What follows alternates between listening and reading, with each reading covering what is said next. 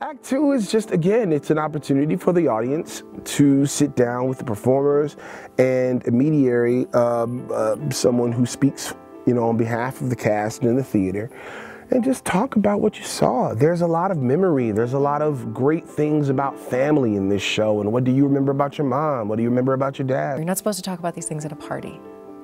Race, politics, family problems, grief, sadness, death, murder. Here we are, we're doing this play, and then we're saying, here, come to our party.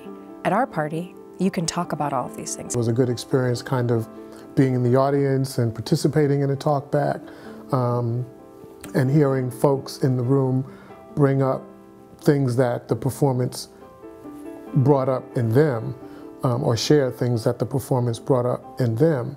One of my favorites was an older black gentleman who was visiting from Ohio. He had been born and raised in the South and left the South many, many, many years ago and doesn't even like coming back to visit. And he sort of happened upon the show and bought a ticket and came in and he said,